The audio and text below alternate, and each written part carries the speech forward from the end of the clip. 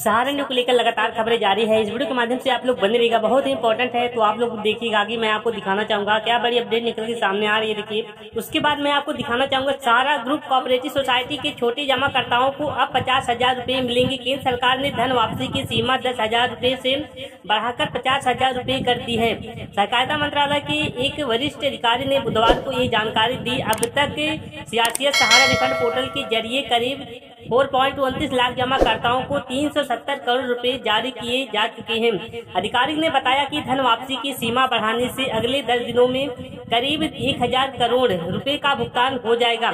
सरकार रिफंड जारी करने से पहले जमाकर्ता के दावों की जाँच कर रही है। सुप्रीम कोर्ट के आदेश के बाद सहारा समूह की चार सहकारी समितियों में पैसा जमा करने वाले निवेशकों की राशि वापस करने के लिए 18 जुलाई 2023 को सियासी सहारा रिफंड पोर्टल शुरू किया गया।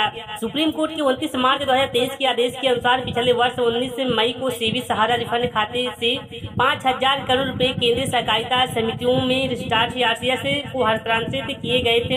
डिजिटल माध्यम से धन वितरण की निगरानी सुप्रीम कोर्ट के जस्टिस आर सुभाष रेड्डी कर रहे हैं। चार सहकारी समितियों का पैसा होगा वापस। सहारा समूह की चार सहकारी समितियों में ही निवेश करने वाले का पैसा लौटाया जाएगा। इसमें Sahara India credit cooperative society limited, Kolkata Saharan credit cooperative society limited, Lucknow Saharan universal multipurpose society limited Bhopal और start multipurpose cooperative society limited Hyderabad शामिल है।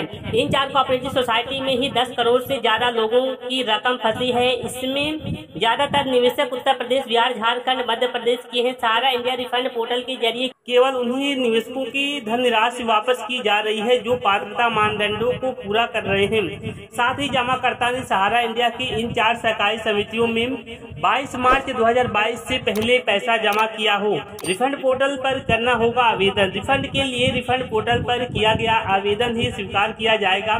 किसी दूसरे माध्यम से किया गया आवेदन खारिज हो जाएगा। पैसा वापस पाने के लिए डिपॉजिट अकाउंट नंबर आधार से link mobile number digital certificate या पासबुक की ज़रूरत होगी। टोल फ्री नंबर से लीजिए। मदन मंत्रालय ने टोल फ्री नंबर भी जारी किए हैं, जिन पर किसी भी सवाल के लिए फ़ोन किया जा सकता है। फ़िलहाल तो वीडियो के माध्यम से बताया जा रहा है, जितने भी निवेशक है, जिनका पैसा सारा इंडिया में फंसा हुआ है, यदि वो पैसा लेना चाहते हैं तो पोर्टल पे जाकर के ऑनलाइन करना होगा।